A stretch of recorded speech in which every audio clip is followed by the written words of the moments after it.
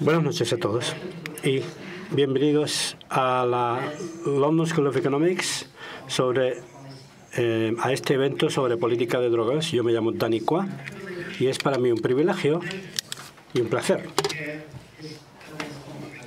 poder presidir este grupo de expertos de ideas que trabajan sobre la economía de la política de drogas y presidir vuestra reunión hoy. Este grupo de expertos incluye el personal de ideas de la LSI que produjo el informe que publicamos hoy y que será presentado esta noche. Para aquellos de ustedes en la audiencia que usan Twitter, espero que puedan ver la etiqueta hash, es LSE Drug Policy. Y pueden continuar usando Twitter, pero si van a continuar de aquí, por favor, que no tengan el volumen de sus aparatos encendido. Eh, el informe se llama el Terminar con la guerra de la droga. En nuestra opinión, es el análisis independiente de mayor alcance de la estrategia de control de drogas a nivel internacional que hasta ahora se haya tomado. Este informe es la continuación del programa de proyectos e ideas de la LS, que seguido del informe del 2012 que se llama Gobernando la, policía, la política perdón, de drogas. La política de droga hoy es está en un punto crítico. Gobiernos con poco presupuesto que eh, se enfrentan a una austeridad en todo el mundo y están reexaminando cuidadosamente cómo gastan el dinero. Los eh, gobiernos latinoamericanos de Centroamérica y del subcontinente están reevaluando la tarea sobre la, eh, lucha contra la droga debido al enorme costo de, eh, de esta guerra y su fracaso aparente para lograr su objetivo, un mundo sin drogas. El presidente Molina de Guatemala como el presidente actual, ha traído esta cuestión, este asunto, a nivel de Estado. Inicialmente estaba programado para asistir a recibir este informe. Desafortunadamente, al último minuto, el presidente Pérez Molina tuvo que cancelar su viaje al Reino Unido, de manera que no ha podido asistir. En vez de Su Excelencia el ministro Mauricio López Bonilla ministro del Gabinete en el Gobierno de Guatemala, a cargo de la seguridad de los, eh, todos los asuntos relacionados con la seguridad del país, está aquí para recibir este informe a nombre del presidente, quien den llevará el informe a la Asamblea General de las Naciones Unidas y otros foros internacionales.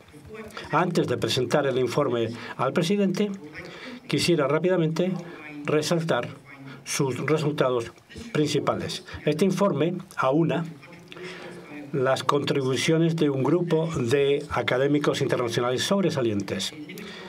Las contribuciones individuales del informe examinan diferentes aspectos específicos de la estrategia global de, las drogas. En su, total, en su conjunto, estas contribuciones subrayan para nosotros cómo se puede ver que no hay formas rápidas o simples para resolver esta cuestión extremadamente complicada. Al mismo tiempo, sin embargo, el informe también muestra una clara forma para mejorar eh, la política de drogas internacional inmediatamente. Esto comienza con el reconocimiento que en su, en su forma actual, la, la guerra sobre la guerra contra la droga a nivel global no es la forma de gestionar el problema de la droga a nivel global.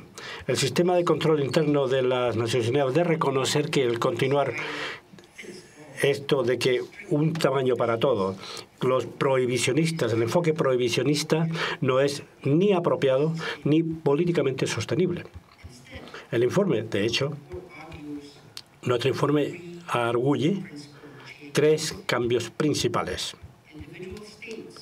Los estados, en forma individual, deben readjudicar sus recursos fuera de la aplicación eh, las políticas de aplicación de la ley y de represivas hacia políticas de salud pública, reduciendo el daño y entregando acceso a tratamiento. Segundo, en vez de prohibiciones generalizadas y de políticas de erradicación generalizadas, los Estados deben centrarse en disminuir el impacto de los mercados ilícitos en el productor y en los países en tránsito, así como también centrarse en promover la seguridad humana y proteger los derechos humanos fundamentales. Tercero, los Estados deben perseguir una política rigurosamente monitoreada y una experimentación regulatoria también monitoreada. Tal experimentación ya se está realizando sobre el cannabis en el estado de Washington y el estado de Colorado, en los Estados Unidos y en Uruguay. Pero también está siendo examinada internacionalmente en el caso de diferentes, lo que se llaman sustancias psicoactivas.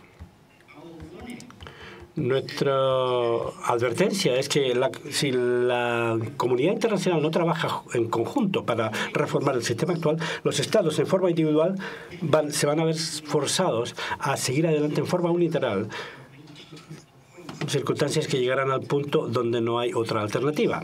Pero estos estas acciones individuales unilaterales van a repudiar las oportunidades de coordinación que existen a través de las Naciones Unidas.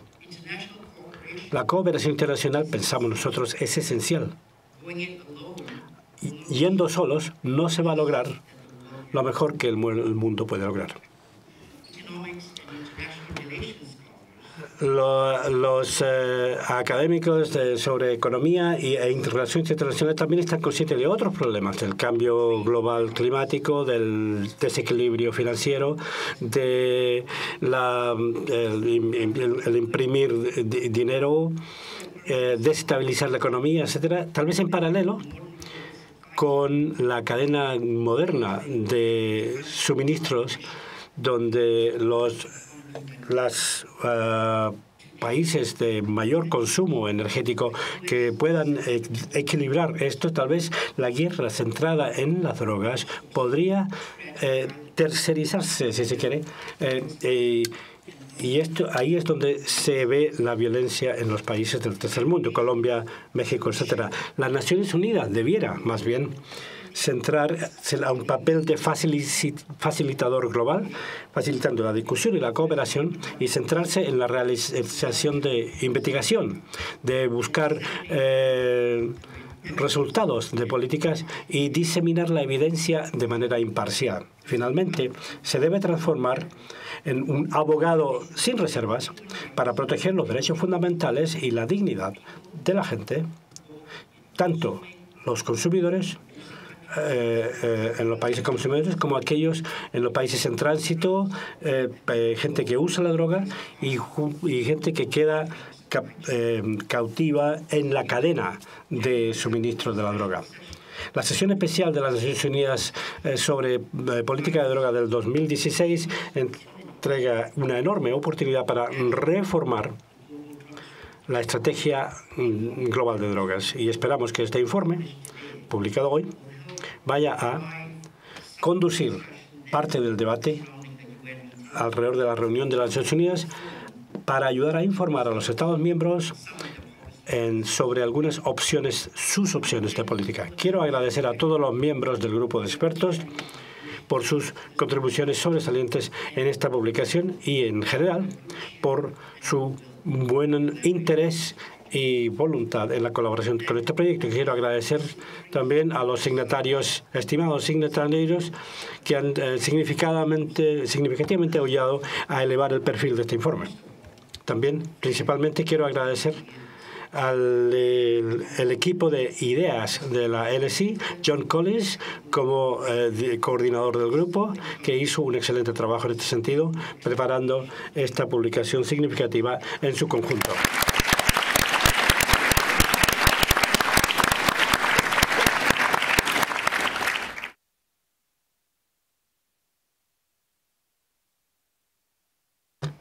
Ministro, le voy ahora a presentar el informe ahora, pero antes de hacerlo, si me permite, quisiera mostrar un video de su presidente.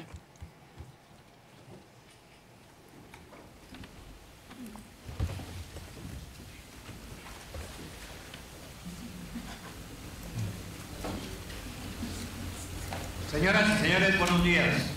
Es un gran honor poder saludarlos desde Guatemala a propósito de esta entrega del informe Finalizando la guerra contra las drogas de la London School of Economics y particularmente de su grupo de expertos sobre la economía de la política de la drogas. Sin ninguna duda, los puntos de vista y conclusiones formuladas en este informe recibirán mucha atención y tendrán relevancia en las discusiones internacionales sobre la reforma de la política de drogas. De modo que me siento muy honrado y agradecido con las autoridades de la London School of Economics por tener la oportunidad de recibir este informe y poder hacer algunos breves comentarios respecto de sus hallazgos y planteamientos, especialmente por la iniciativa de Guatemala en el hemisferio americano y a nivel internacional de que la reforma de la política global de drogas sea una realidad en el mediano y en el largo plazo. Permítanme subrayar que Guatemala es hoy en día esencialmente un país de tránsito de las drogas, que van del sur al norte de nuestro hemisferio, aunque con el tiempo ha venido creciendo ciertamente la producción de amapola, nuestros problemas de drogas se derivan esencialmente de la circunstancia geográfica de encontrarnos a la mitad del camino entre los países productores y los países consumidores de nuestro hemisferio. Por ser un país de tránsito, sufrimos especialmente del problema de las organizaciones narcotraficantes nacionales y extranjeras, que en su afán de procurarse de mayor nivel de ganancias libran combates entre sí y con las fuerzas de seguridad por el control de las rutas y territorios y han generado altos niveles de corrupción, crimen y violencia en nuestro país. En esta línea, como se señala, es en una parte del informe los países de tránsito nos hemos visto obligados a seguir las orientaciones y asumir los costos de la política de drogas implementadas por los países de consumo, especialmente en lo relativo para la reducción de la oferta. Sin embargo, a pesar de los éxitos en este ámbito, hasta ahora no hemos logrado resolver en definitiva el problema de las drogas que nos agobian. Y pienso que no lograremos si no ocurre un cambio importante de nuestra orientación, no solo en nuestras políticas internas, sino también dada nuestra situación de país de tránsito en las políticas de los países productores y consumidores, o lo que es lo mismo, en la política de drogas a nivel global. Es por ello que Guatemala tiene un interés prioritario y especial en la reforma de la política de drogas. Y es por ello que con el apoyo de varios países que comparten nuestra misma preocupación, seguiremos promoviendo activamente este tema en los diferentes foros internacionales. De manera simultánea al debate internacional, hoy en día varios países han comenzado a experimentar con nuevas políticas de drogas y Guatemala sigue con atención y respalda abiertamente las iniciativas y políticas que están siendo implementadas y se fundamentan en varios de los principios y criterios que enuncié anteriormente. Valoro positivamente y he expresado abiertamente mi apoyo al esfuerzo que desarrollan estos países en la búsqueda de resultados más eficientes y eficaces sobre el problema de las drogas, que buscan asimismo corregir o evitar los problemas derivados y los daños colaterales que las políticas tradicionales del prohibicionismo han generado en diferentes lugares del mundo. Creo que la nueva respuesta global al problema de las drogas no puede ser indiferente ni disociarse de estos diferentes esfuerzos nacionales que ya se realizan en la actualidad. Sin ninguna duda, hay que tomar en cuenta lo que ya se está haciendo y especialmente aquellas buenas prácticas y estrategias que generen resultados efectivos en los distintos países donde se pongan en práctica. Señoras y señores, expreso mi satisfacción y reconocimiento por esta importante contribución de la London School of Economics al debate global sobre el problema de las drogas. Considero que los contenidos del informe deben ser puestos a disposición no solo de académicos e investigadores, sino también del mundo gubernamental y no gubernamental, líderes políticos, funcionarios y directivos de instituciones públicas, así como investigadores y dirigentes de instituciones no gubernamentales, deben de seguir siendo involucrados en este importante asunto de la agenda global.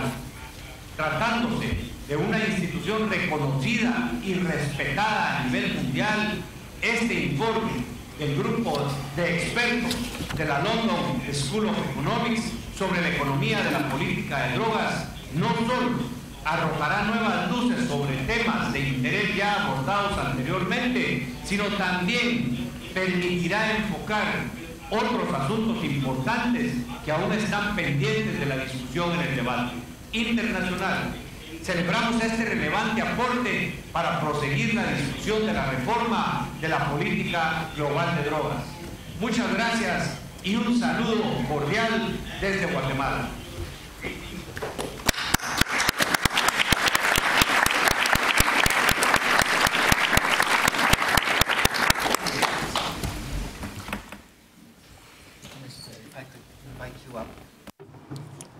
Muchas gracias.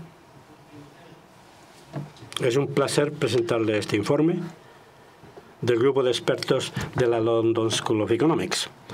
Y esperamos trabajar con usted y con eh, miembros de gobierno y otras autoridades de su país.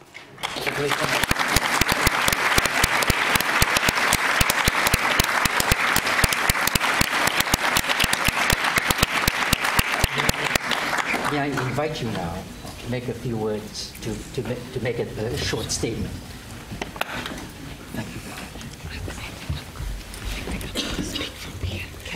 Muy buenas noches. En primer lugar, quiero decir que es para mí un gran honor no solo recibir este informe en representación del presidente de la República, don Otto Fernando Pérez Molina, presidente de la República de Guatemala, sino estar en este auditorio,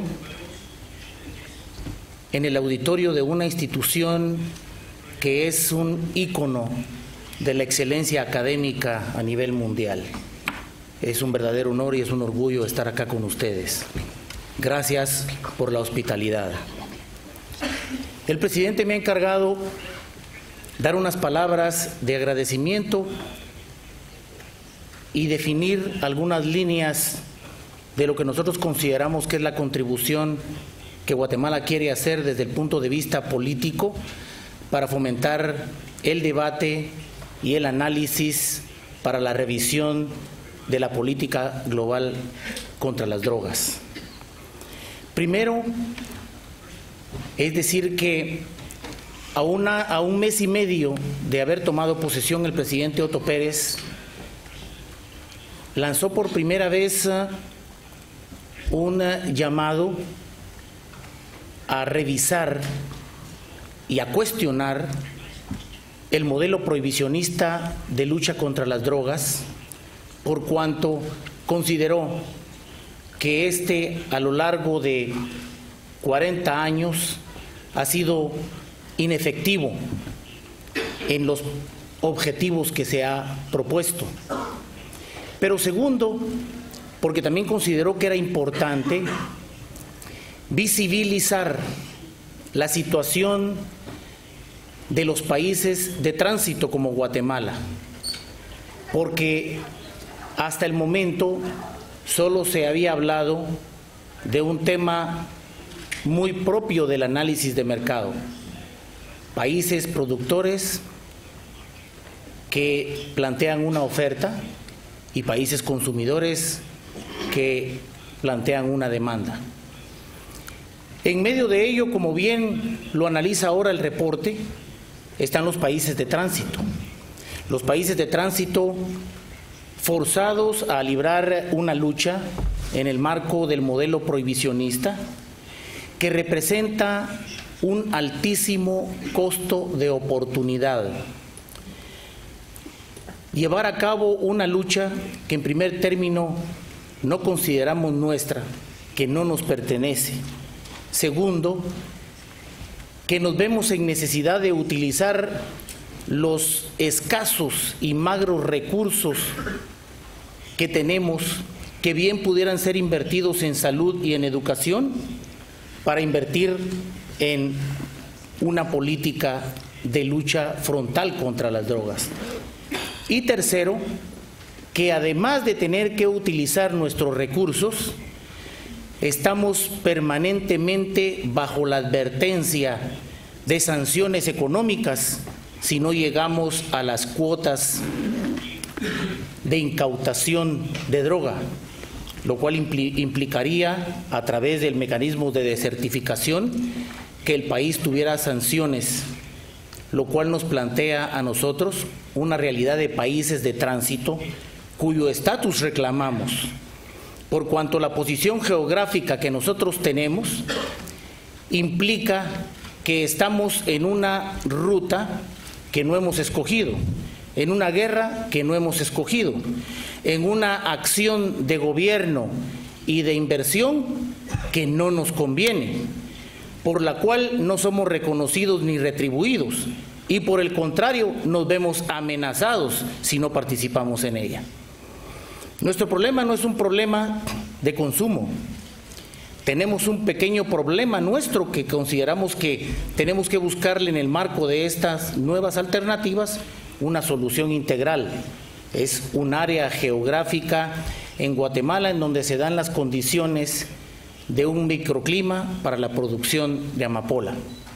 Y esto a lo largo de 35 años ha constituido ya un cultivo que tiene un impacto sociocultural y que nuestras políticas de erradicación no llegan a llenar el objetivo mínimo.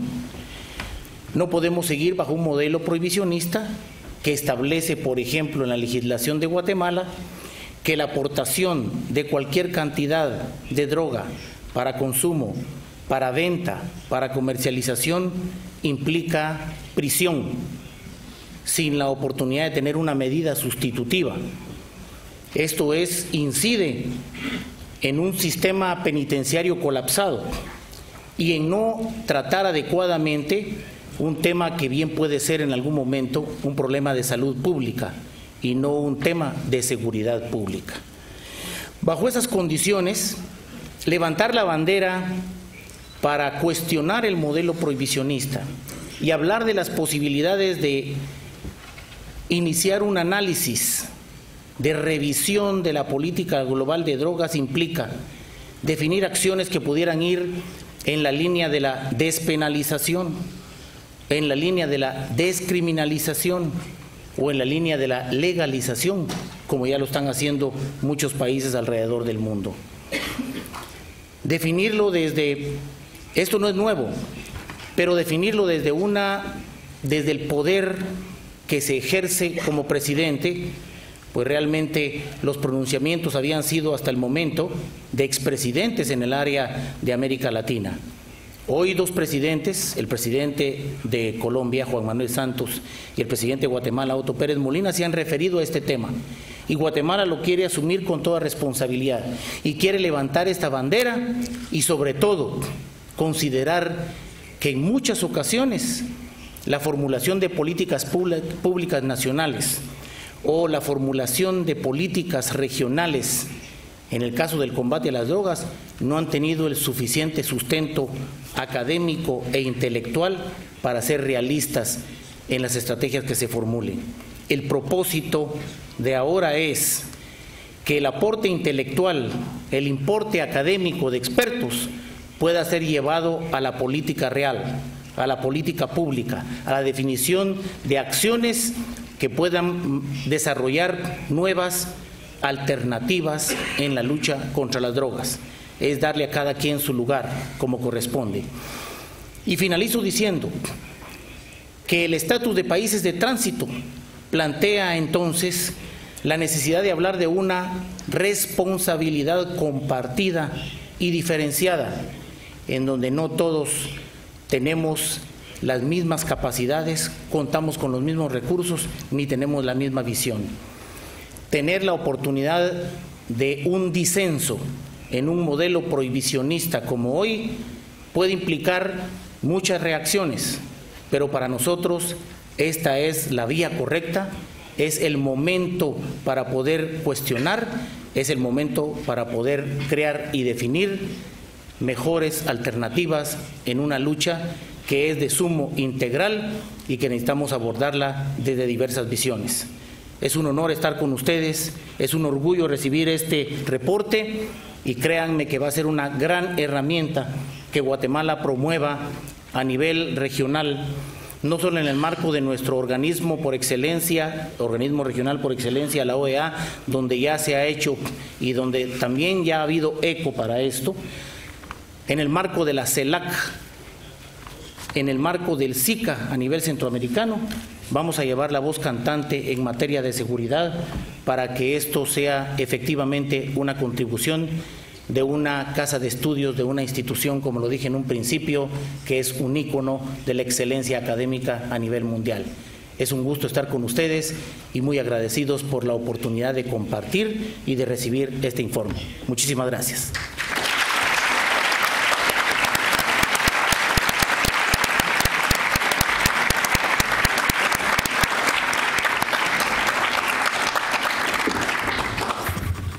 Thank you very much. Muchísimas gracias, Excelencia. Ahora vamos a, a, escuchar a dos expertos que nos van a hablar acerca de sus puntos de vista de esta problemática. Ellos han decidido hablar desde el podio. Lo que voy a hacer es de presentarles inicialmente antes de darles la palabra a estos dos expertos. En primer lugar, el doctor Kaisha Malinowska que dentro de unos momentos hablará sobre ah, política pública en la lucha.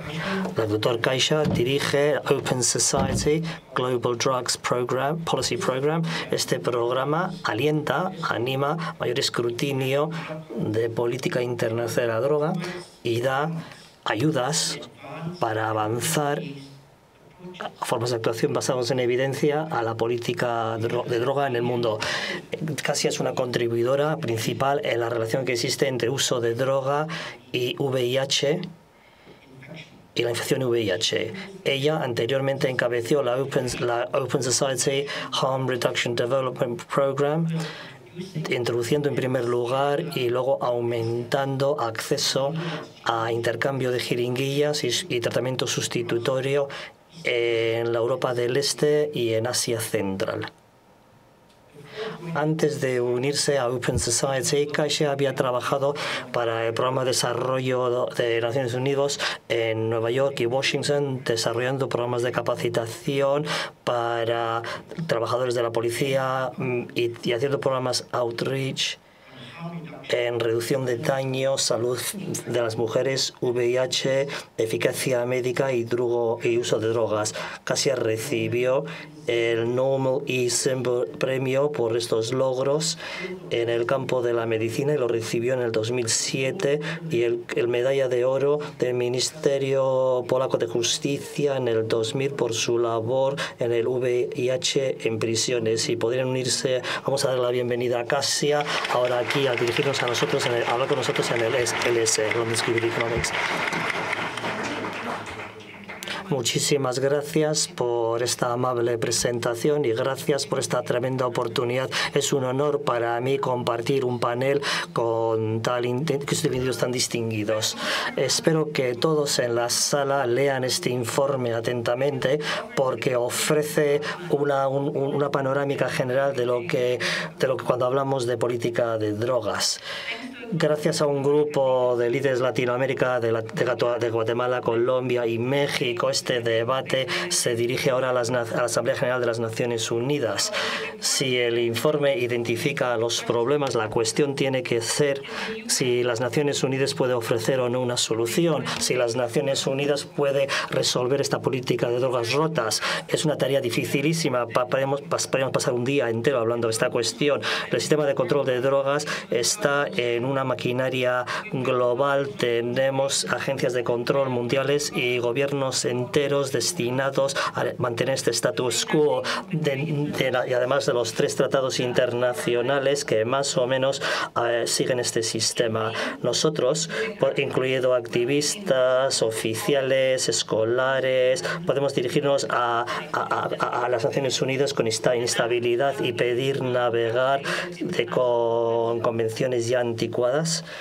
No solo lo podemos hacer, sino ya lo hemos hecho precisamente esto en el 2001 con el mundo enfrentándose a la crisis del SIDA. Los activistas de salud pública y algunos gobiernos valientes cuestionaron el status quo terrible que asumía que, fármacos caros no pueden estar disponibles a los millones que se estaban muriendo de SIDA en el sur.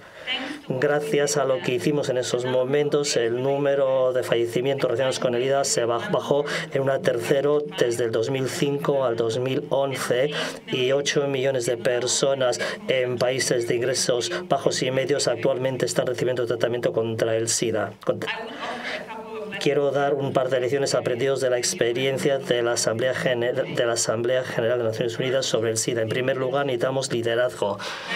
Luego, el secretario general Kofi Annan entendió la gravedad de la situación, entendió la miseria de los niños viendo que sus padres fallecían, enfermedades terribles y buscaron soluciones que estaban fuera de la casilla. El Fondo Mundial para luchar que SIDAS, malaria y tuberculosis se creó un fondo fuera de las Naciones Unidas. Esto fue una movida controvertida que se entendió que las Naciones Unidas no se enfrentaran a las farmacéuticas que estaban cobrando 15 mil dólares por un año por, un suministro anual de medicinas que podrían salvar la vida. Es precisamente este liderazgo fuera de la casilla que necesitamos hoy en día para reformar la política de drogas y estamos viendo este liderazgo surgir. Latinoamérica, líderes latinoamericanos han puesto la política, la lucha contra la droga aquí, eh, han hecho su parte. Ahora necesitamos que Europa también haga lo mismo. Necesitamos que Europa se sienta orgullosa de su programa de salud pública que han logrado contener VIH que está fuera de control en Rusia, por ejemplo. Necesitamos gobiernos que descriminalizan las drogas y vacían las prisiones como Portugal para que ellos, celebren sus logros. Gobiernos en Suiza, Alemania, España, las ciudades de Vancouver o Copenhagen que abrieron las puertas de las clínicas que gente que usa drogas y les dio un espacio seguro para poder inyectarse. Ellos tenían que, que sentirse orgullosos de que redujeron el SIDA. Estos, estos políticos eh, valientes tenían que pedirle a sus, interlocutores en todo el mundo por qué ustedes tampoco hacen lo mismo, no hacen lo mismo. En segundo lugar, mientras ahora la solución puede provenir de fuera de las Naciones Unidas, aunque nos dirigimos a las Naciones Unidas, si, habla, si, si algunos funcionarios, además de activistas del SIDA en el mundo, articularon claramente que una vida en el sur global es tan valiosa como la vida en el norte y que no ofrecer fármacos eh, violan derechos humanos e, y es inmoral. Se enfrentaron a la Organización Mundial de la Salud y una vez más crearon una solución fuera de la casilla de la emergencia salud pública que, permitió a Tailandia, Brasil e India producir fármacos genéricos. Estamos ahora estamos viendo este tipo de planteamiento a medida que los gobiernos están introduciendo políticas que tienen que, que, están en contra de los tratados. Muchos de nuestros aliados son guardianes de los estándares internacionales y las normas y les entendemos y respetamos su posición. Sin embargo, si ustedes no resuelven este sistema desde internamente, los gobiernos no tengan ninguna elección que salirse del régimen y actuar fuera del régimen. Y ellos estarían en lo cierto si lo hicieran, porque el coste de no hacer nada es demasiado elevado. Y esto es la importancia precisamente de este informe, cuenta los costes. Cualquiera que lea este informe y que piense que solamente solo es política de droga no ha entendido el informe. Consiste en salud pública y los millones de usuarios de drogas que se pueden infectar por SIDA, VIH, aunque se puede evitar totalmente. Consiste en los millones de gente en prisiones por delitos leves de drogas, especialmente si son minorías étnicas o si son pobres. Es de cientos de miles que son abusados eh, en el nombre de tratamiento de droga. Es de crueldad que negando tratamiento cannabis a niños con epilepsia, opioides para gestionar el dolor y, y es de comunidades que viven con violencia como consecuencia de las drogas ilícitas, la creación de las cuales son funciones del sistema de control mundial. En el 2001 el mundo tuvo que enfrentarse a huérfanos de SIDA y ahora huérfanos del complejo prisionero y violencia contra las guerras. En el 2001 eh, activistas del VIH tuvieron que enfrentarse a tratados internacionales y ahora nos enfrentamos a tres tratados de drogas. En el 2001 tuvimos que enfrentarnos a las grandes farmacéuticas y ahora estamos eh, en, en los intereses de la guerra que incluyen la industria de prisiones, las agencias contra las drogas y otros. En el 2001 fue importante el movimiento contra el SIDA. 15 años más tarde tenemos la oportunidad de convertir en el 2016 tan importante para el movimiento de políticas de drogas. Todos ustedes, ya sean estudiantes, académicos o mundos, gente fuera de academia, pero especialmente aquellos de ustedes que entienden la política, tienen un papel a desempeñar en estas tareas. El informe solicita el desarrollo de una estrategia internacional para el siglo XXI y eso es correcto. Eso es lo que necesitamos precisamente y espero que ustedes nos ayuden a convertir esto en una realidad. Muchísimas gracias por su atención.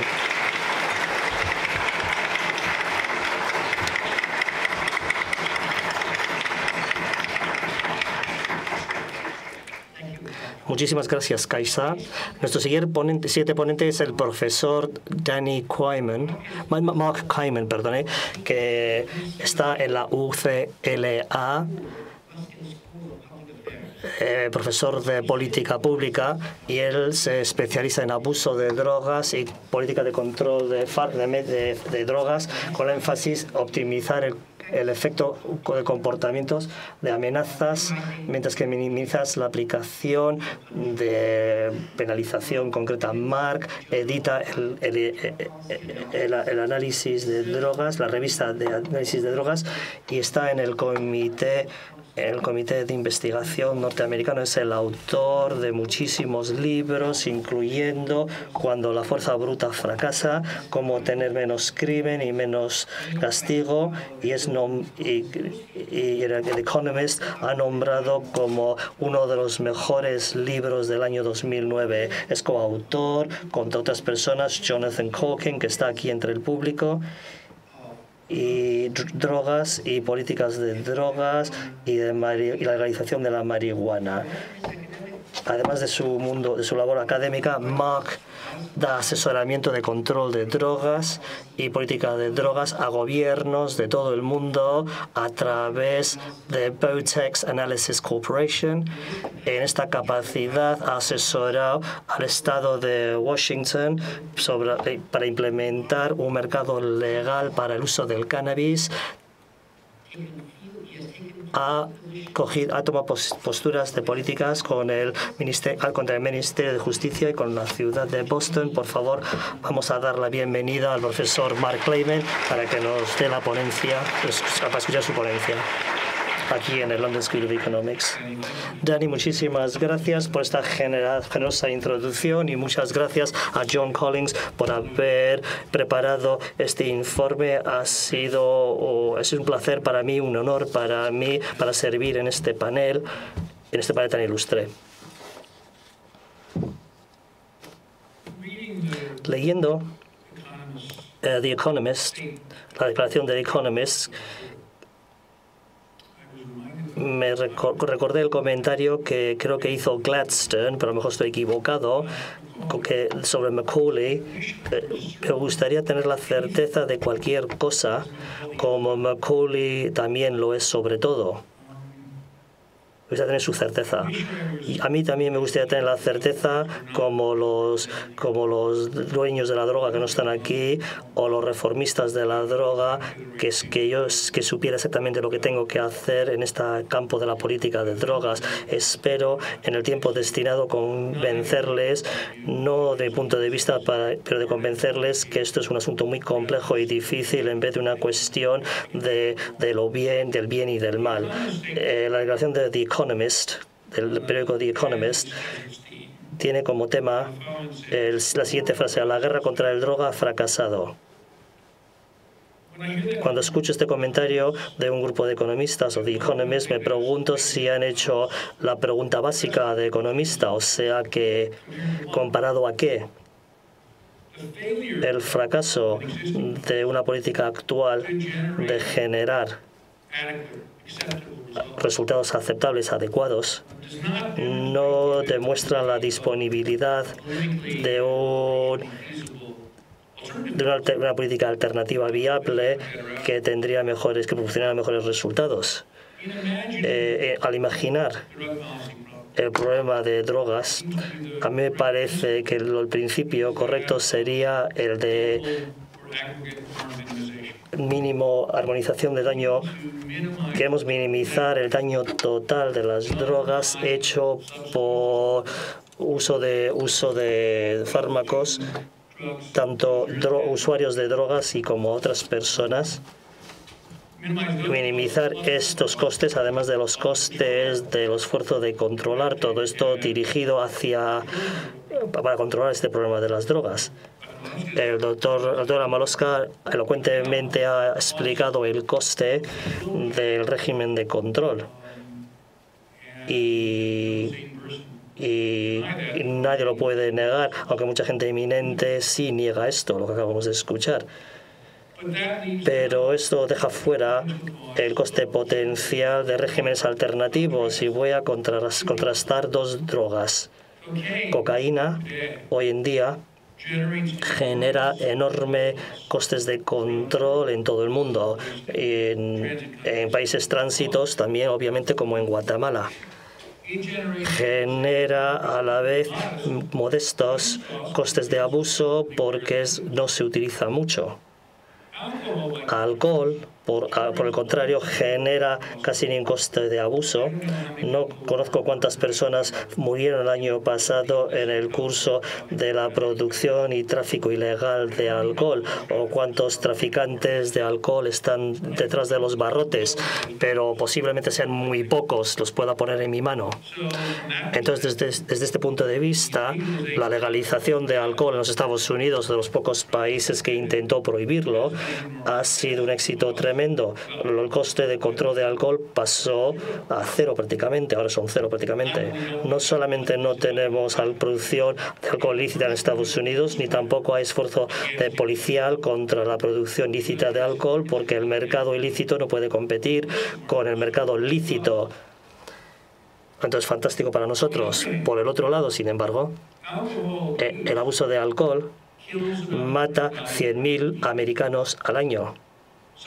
Algunas de estas personas, ellos mismos están usan otros otros otros mueren por enfermedades crónicas, cirrosis del hígado y en América también mueren de fallos coronarios eh, y otros problemas digestivos crónicos. El alcohol es una toxina a, todos los tejidos y órganos del cuerpo.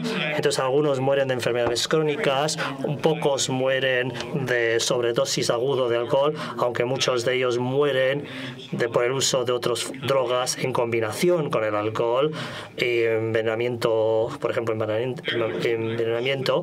Pocos mueren de suicidio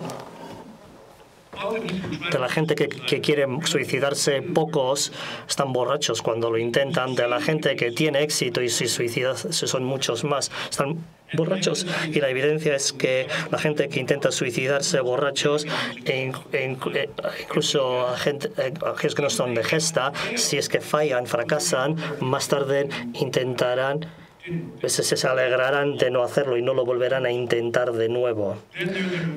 Luego hay costes más dramáticos, como por ejemplo homicidios y accidentes de automovilísticos y el coste incalculable de abuso de alcohol a las familias, amigos, trabajadores, amistades de, que están colindantes a ellos. Aproximadamente la mitad del crimen violento en Estados Unidos lo cometen gente que están borrachos en el momento de cometer el hecho y la mitad en la prisión en Estados Unidos estaban borrachos cuando cometieron la, el, el delito. Entonces la contribución de provisión de drogas al problema de encarcelación es importante. la contribución de, legalización de alcohol al problema de, de a las cárceles es mayor aún. Por lo tanto, nuestro, tenemos que minimizar el daño agregado o de pensarlo de una forma diferente. Esto es una fórmula del profesor Rob McCoon de Berkeley podemos pensar descomponer el coste impuesto por cualquier droga sobre, su, sobre las personas y otras personas. El daño total, el daño agregado es el producto de dos cifras. El, el dañino, que es la droga por usuario o por gramo o por incidente, por el volumen una vez más definido de diferentes formas. Es la, el dañino más la prevalencia. Si podemos reducir cualquiera de esos dos factores, podemos reducir el daño agregado siempre y cuando no aumentamos eh, lo demás eh, de, forma más proporcionada. Una forma de reducir daño agregado de drogas sería aumentar el impuesto de alcohol, una política que exige poner nadie en prisión, no rompiendo las puertas de nadie ni limitar las libertades de la gente. Sin embargo, casi todos los lugares del mundo los impuestos de alcohol son más bajos que el coste que produce el alcohol, incluso las personas que no beben. En Estados Unidos lo he calculado que la bebida media que, se que, que tiene un impuesto de 10 céntimos produce un dólar y medio de daño a la gente que no bebe. Eso no se debe porque, el, porque el, que la persona media no hace daño. Eh, es, son una serie pequeña. Los costes se deben poco gente que bebe, pero eso es que genera muchísimos costes. Por lo tanto,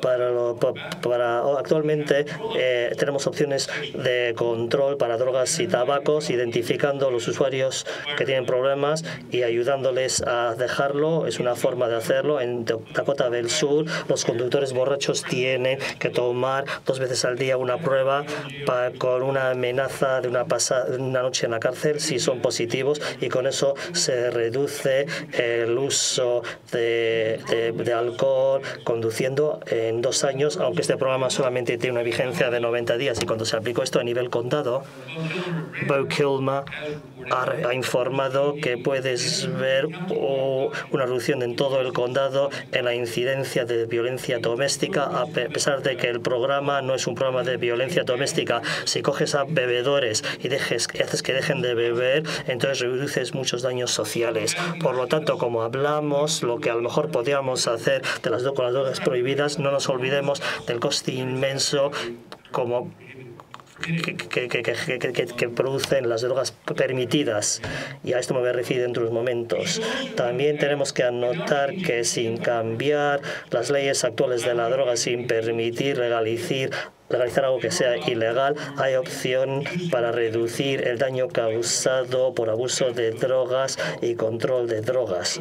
Por ejemplo, podríamos trasladar nuestros esfuerzos policiales en países de tránsito fuera del esfuerzo inútil de reducir el flujo de drogas hacia el objetivo práctico de reducir la violencia asociada con los mercados de la droga, el coste y más importante para una organización es el coste de, de policial. Si pudiéramos pudiéramos centrarnos eh, en las organizaciones violentas, podríamos crear un, un desincentivo a la violencia, además de ejercer presión darwiniana sobre el mercado, eliminando los eh, traficantes más violentos. Los detalles de todo ello exigirían pensamiento, pero esto es una oportunidad que podría hacerse sin permiso de los órganos de control internacionales.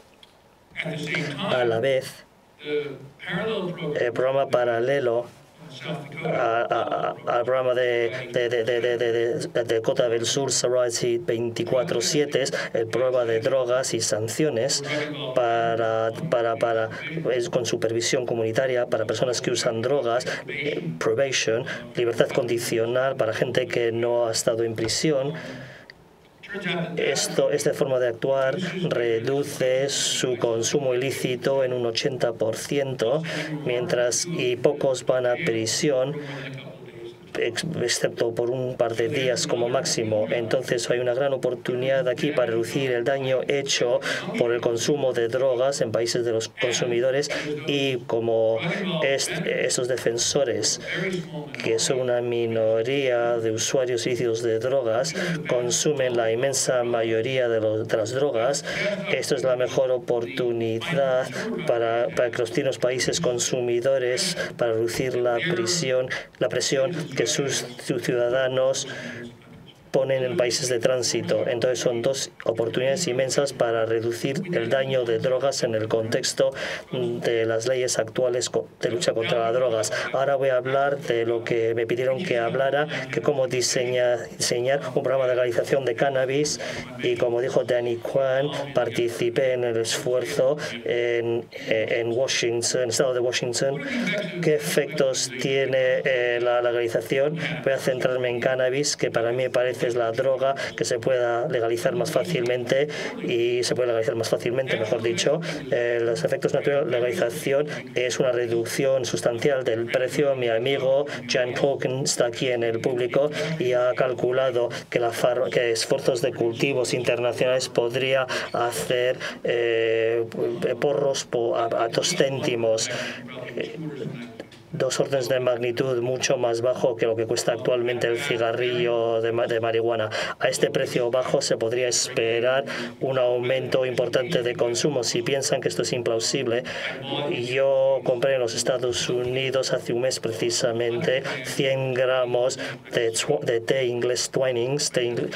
estos son las flores, de, estos son las plantas, esos 100 gramos de té de una marca conocida en una un supermercado me costó 4 dólares 49 centavos.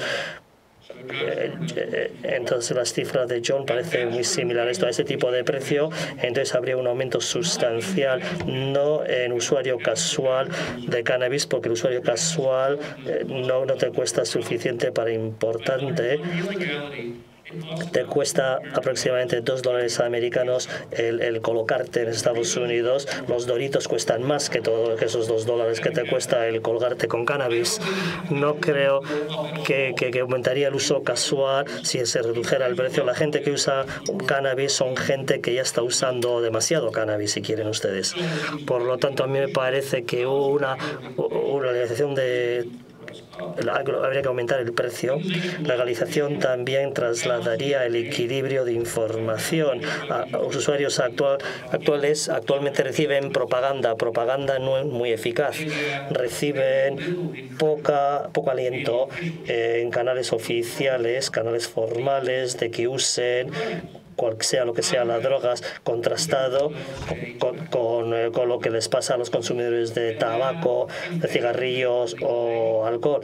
Y este efecto no solamente afectaría los esfuerzos de marketing, publicidad en los medios, o sea, todos los medios posiblemente serían menos agresivos en publicar los daños hechos por los productos que ellos publican que es, la, que es lo que pasa con el problema de fumadores en los años 60 y el problema de alcohol incluso hoy en día.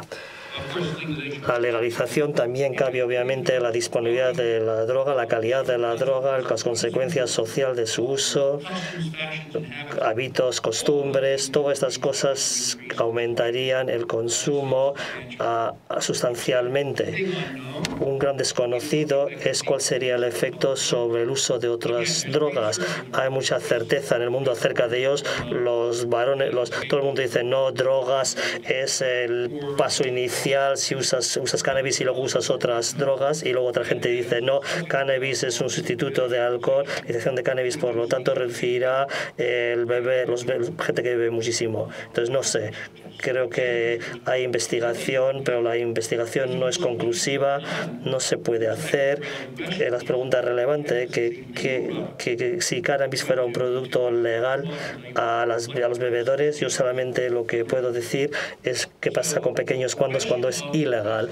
Entonces, no es la cuestión no es una cuestión que se pueda resolver con los datos actuales y como dijo Bernard Heisenberg, las predicciones son peligrosas, especialmente cuando hablamos del futuro.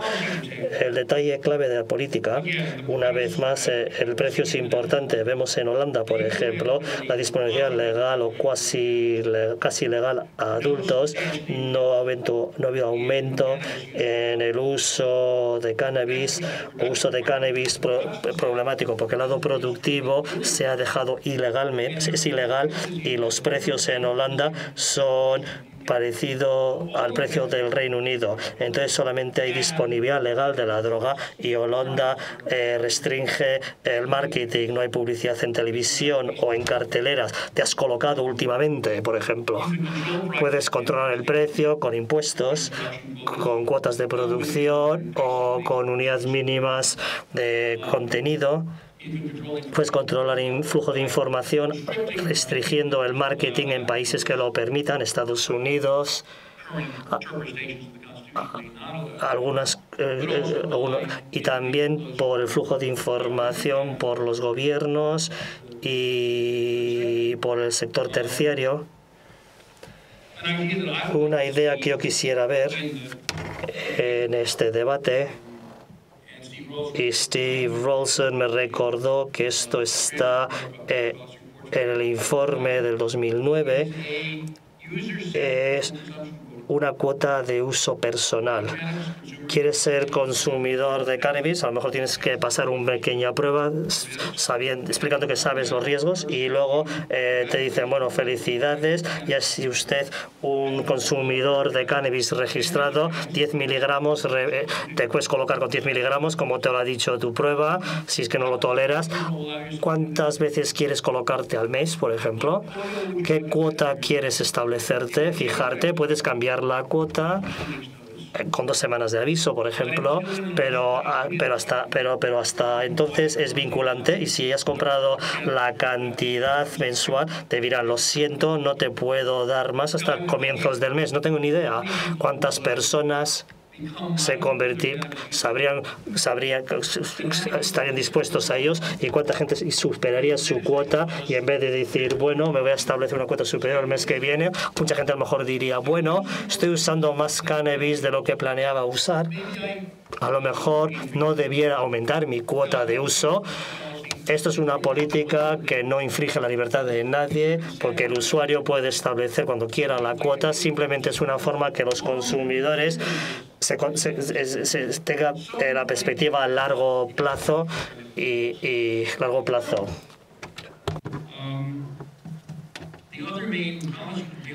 El otro detalle importante de la política es la estructura de la industria. En los Estados Unidos, algunos estados han legalizado y lo han hecho sobre la base de ventas comerciales, más bien en el modelo Alcor.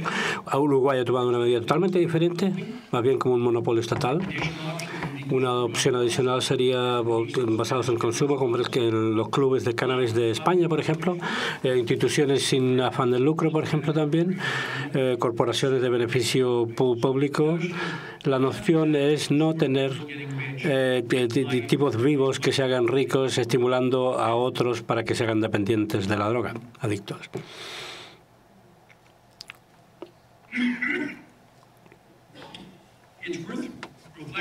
Vale la pena reflexionar no solo la naturaleza de la política de cannabis, sino que también la, eh, si tiene sostenibilidad o no. La economía política de la legalización eh, obviamente eh, ha creado un problema para cualquier vicio que se legalice. El problema es primero el poder de la industria y la posibilidad de una captura regulatoria donde la parte comercial toma prioridad sobre la parte del interés público al gestionar políticas. Esto se puede ver con la política del alcohol en todo el mundo hoy. Y segundo, el problema básico de la industria, que es que el uso eh, infrecuente no genera un volumen sustancial de ventas la base de ingreso de cualquier sector que de algo que forma un, eh, mal hábito es que tengan el mal hábito.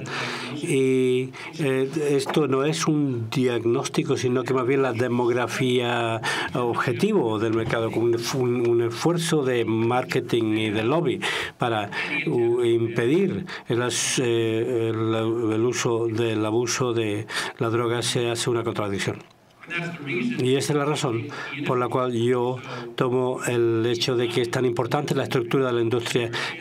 nuestra opción de mantener una política de control sensible o sensata se hace muy difícil.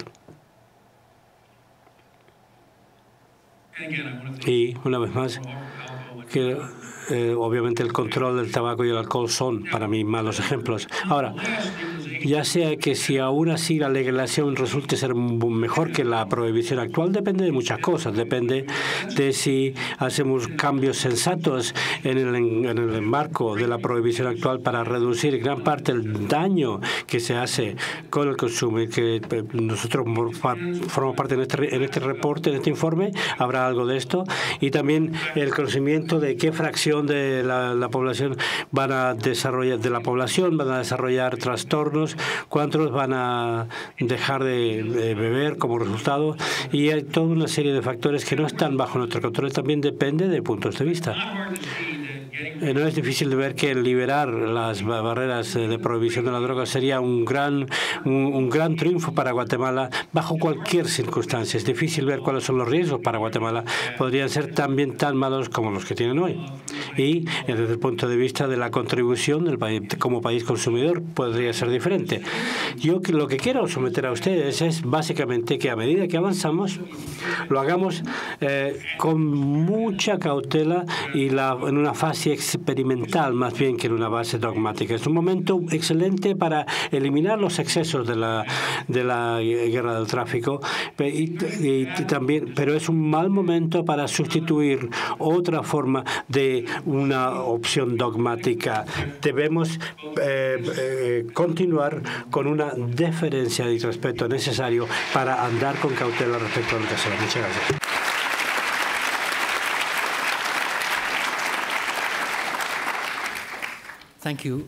Gracias, Mark.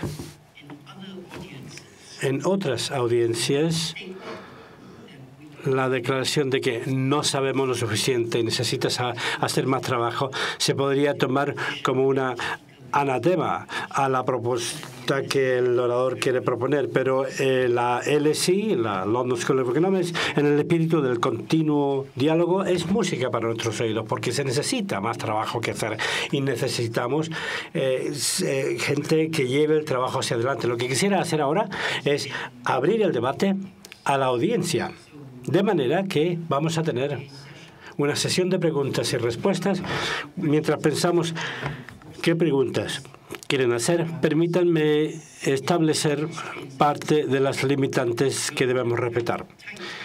Primero, el horario. Tendremos que concluir esto eh, a, tiempo. Dicho esto, sin embargo, hay todavía oportunidad para obtener un buen debate.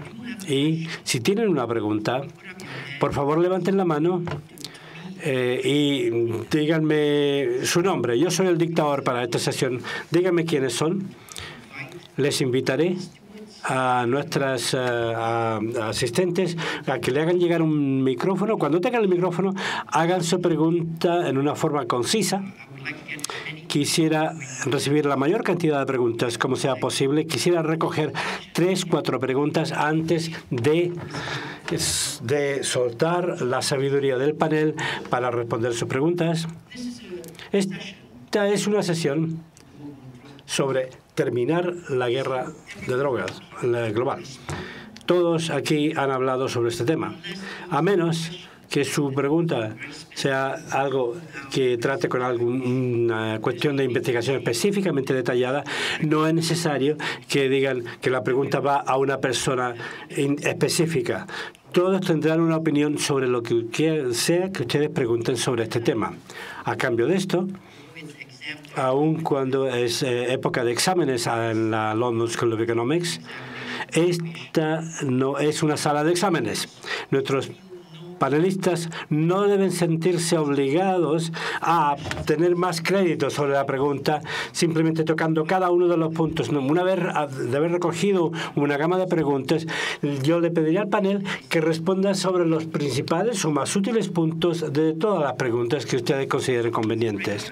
Si las asistentes están listas, creo que hay una pregunta aquí e intentaré diseminar lo más posible. Aquí en el medio, por favor el señor de la, del, del suéter azul. Y una vez más recogeremos tres o cuatro, ¿vale? Antes de que ustedes respondan. Hi, thank you very much and, and thanks very much to the panel. Um, some of the panelists mentioned Gracias al panel. Alguno de los paneles mencionó lo que se está haciendo en Washington, el cambio de política que ha ocurrido en Washington, en Colorado, Uruguay y otros lugares.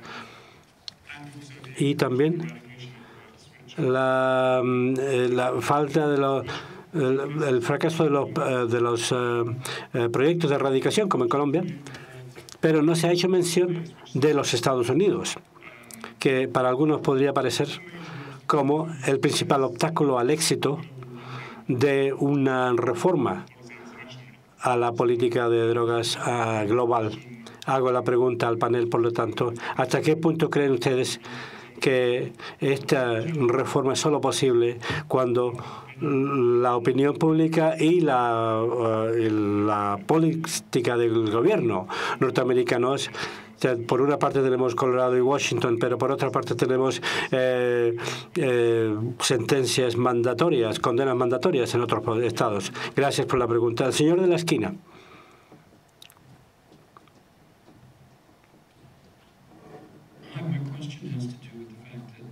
Mi pregunta se relaciona con el hecho de que todas estas drogas que son ilícitas tienen valores también terapéuticos. Se ha mencionado el uso de la marihuana como medicina, el opio también. Es, es, escaso en muchos países y también el problema del, del dolor eh, continuo, donde no hay tratamiento para ello como calmante, en otras palabras.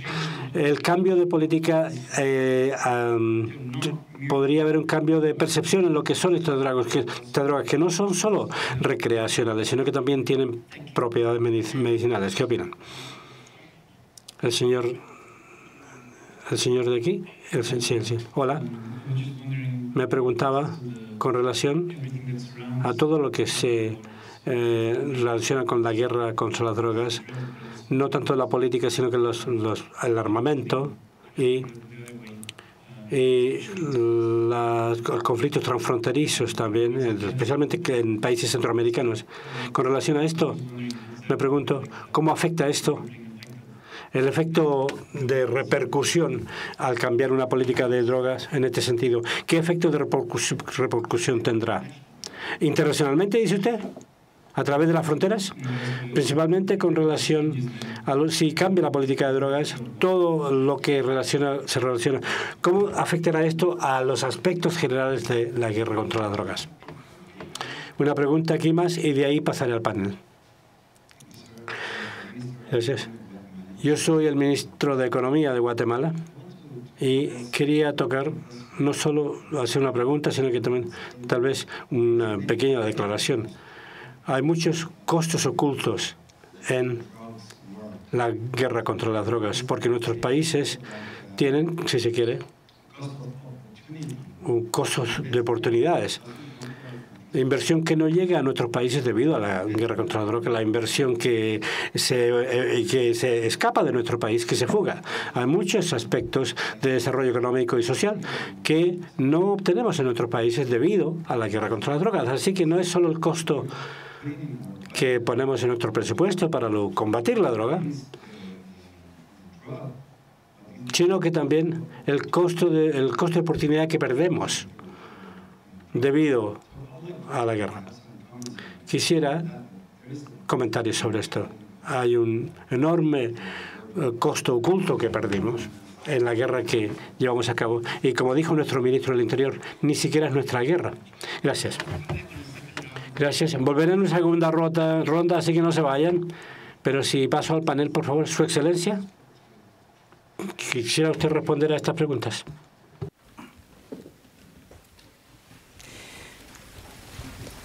Mi opinión eh, sobre la base de cómo estamos ah, abordando eh, este tema y sobre todo eh, proponiendo una, un debate de profundidad es, sin ninguna duda, en el caso de Guatemala, digamos, el, el papel que juega el, el, gobierno de Estados Unidos en la definición de una política eh, prohibicionista en el área es trascendental. ¿Cuál es la interpretación que se da desde un inicio cuando hablamos de despenalización? O se, puede, o se interpreta o se interpretó en algún momento que despenalización era igual que descriminalización, así fue como se abordó, y consecuentemente podría hablarse de legalización, ¿verdad? Es, definir cada uno de los campos de acción es importante. Y cuando hablamos de la responsabilidad compartida y diferenciada es cómo afecta el problema de las drogas a países, a países productores, a países de tránsito y a países consumidores.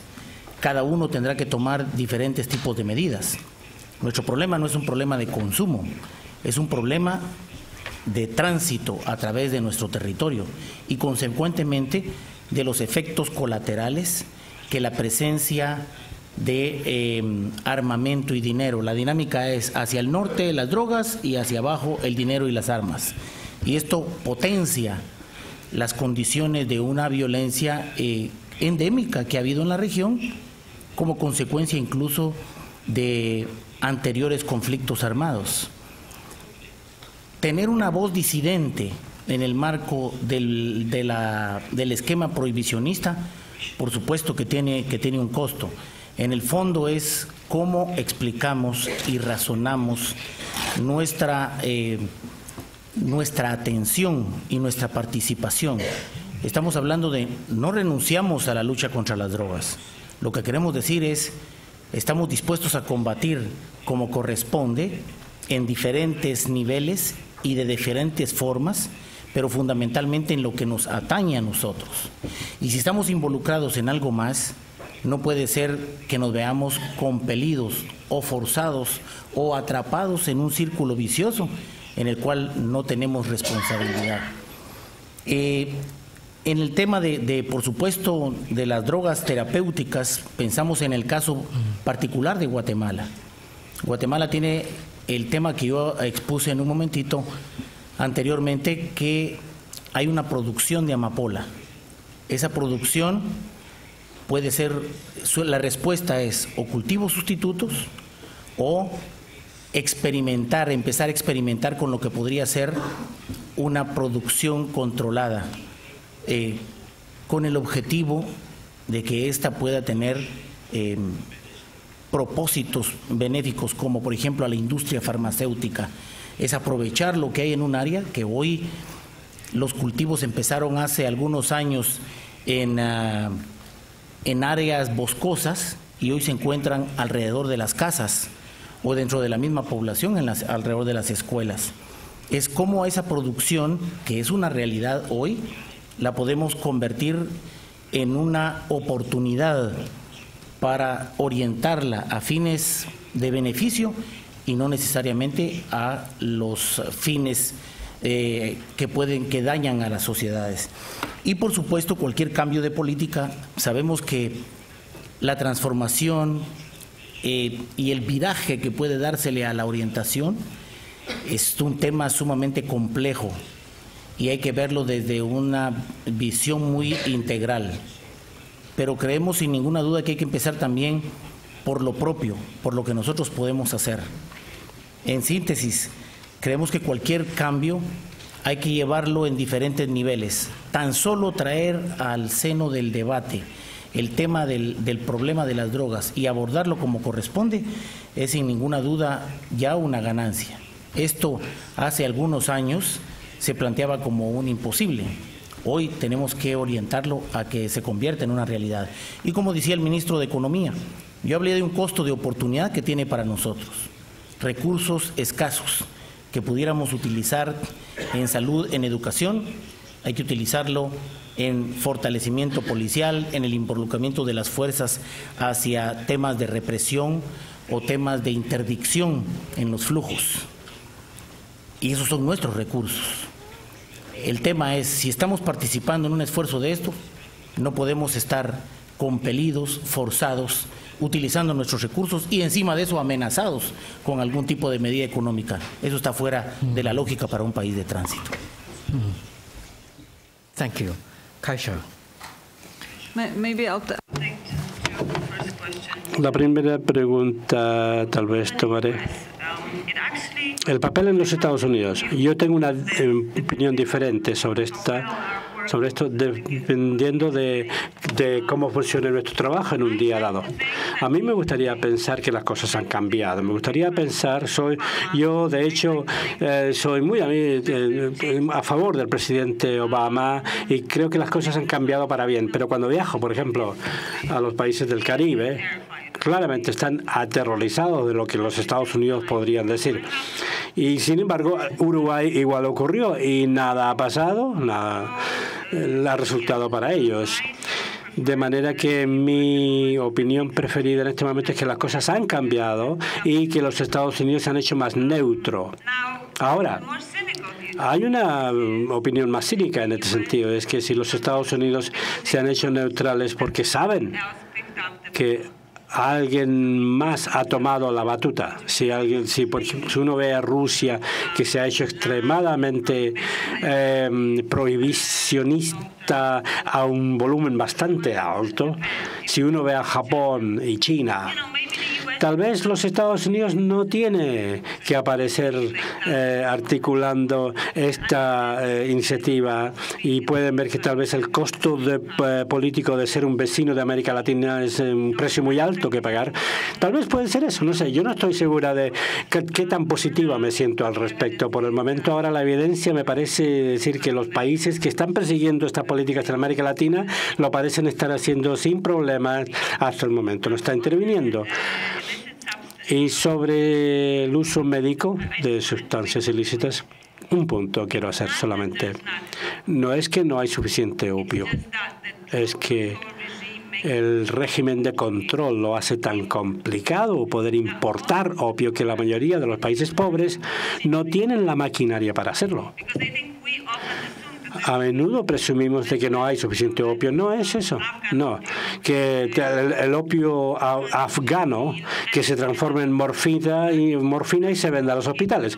Esta es una proposición muy complicada y no se trata de que no haya suficiente sustancia. No.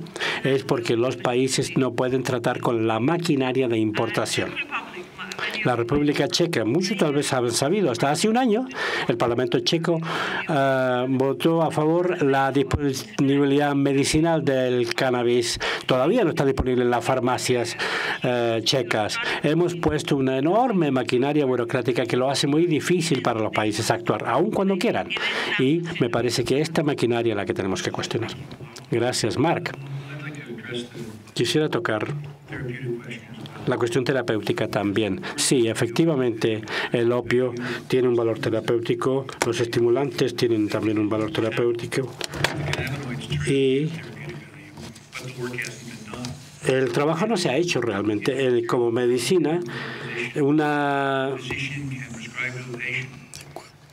si hay una droga que no tiene un un factor medicinal, entonces no es eh, eh, cannabis, es, un, sustituto. Si yo tuviera una infección, mi médico no me dice, usted tiene una infección. Eh, creo que el antibiótico es bueno. Pruebe, pruebe antibióticos y ella me dice, use la receta, 100 miligramos de moxicilina tres veces al día con la comida siete días. No estamos en el momento donde podemos escribir ese tipo de receta para la medicina del cannabis, porque no se ha hecho la investigación adecuada. Se ha mencionado que el opio para el dolor crónico nunca ha habido una investigación que efectivamente muestre bueno, un dolor agudo. De hecho, el opio es lo mejor en realidad. Nadie ha evaluado el valor del opio más de tres meses. Y dado el problema de tolerancia, no es está claro que las personas que eh, toman toneladas de opio van a eh, obtener algo de eso, aparte del problema de la adicción. Y va a, eh, obviamente, eh, crear problemas en este sentido. Y esto parece ser complicado, por lo tanto. Y por lo tanto, los regímenes de control van a ser complicados, que, haya, eh, tiene razón, no deben ser tan malos como son ahora, pero el beneficio eh, terapéutico es un beneficio, es un beneficio, el placer es otro beneficio y ese es el que el que combatimos. Pero con relación a los, a los fármacos o drogas que no hemos mencionado hoy, como por ejemplo los alucinógenos, los psicodélicos y MDA, mescathulin y esa clase? Hay enormes crecimiento personal, espiritual, eh, creatividad, inspiración, eh, ilustración, sobre la cual hoy hay una investigación bastante sustancial el grupo en Hopkins, el, en Roland Griffins, ha demostrado que alguien que toma, alguien con interés espiritual, que no ha jamás utilizado un alucinógeno, se le hacen ocho horas de esto en un, en un eh, entorno controlado, él tiene dos tercios de tener una experiencia mística es decir, 66%. Él te reportará dos años después no haber utilizado ninguno de estos. Dos años más tarde, ella lo dirá que fue una de las cosas más importantes que le ha pasado en su vida. ¿Vale? y los amigos y las familias que se reclutan para la investigación dicen que ella se comporta mejor. Vale. Estos son enormes beneficios que ocurren, que actualmente se realizan y que no se servirían bien si hacemos la LSD disponible en las farmacias.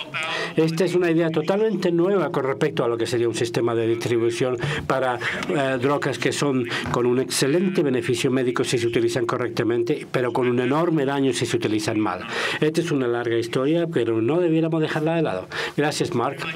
Espero que podamos tener otra ronda de discusiones, pero dado el tiempo, yo sé que nuestros paneles tienen que, panelistas tienen que respetar. Yo me lamento, pero vamos a tener que cerrar la sesión con esto. Pero antes que esto concluya, permítame decir que esperamos ver poder continuar estos debates no solo con el gobierno, sino con ustedes y con la LSI, con la London School of Economics. Quiero primero agradecer a ustedes la audiencia por vuestro interés y participación esta tarde.